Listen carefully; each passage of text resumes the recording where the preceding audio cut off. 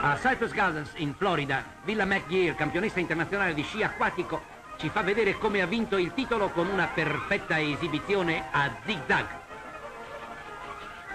Questa sua abilità è frutto di lunga pazienza.